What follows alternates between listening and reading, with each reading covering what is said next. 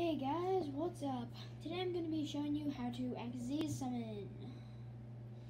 If you haven't seen this already, because I'm using a level 7 or up, I'm using a level 7, I recommend watching my tribute, my tribute summoning, set summoning, and normal summoning video, because you're going to need at least two of those.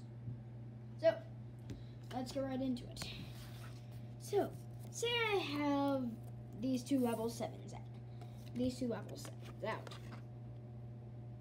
I then place them, take them, stack them on top of each other, take whatever I want from the extra deck, in case I want, in this case I want Odd Eyes Raging Dragon, which is awesome.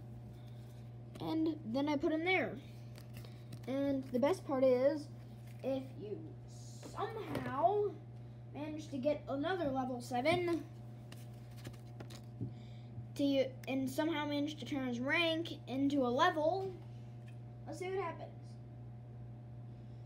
You can make a second attack during each battle phase, and once per turn, you can detach one Xyz material from it, destroy as many cards your opponent controls as possible.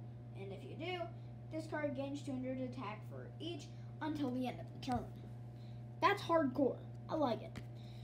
So, hope you have a great day. This one's short. Drop a like and subscribe once again if you would like to see a box, a video on how to do the box like this.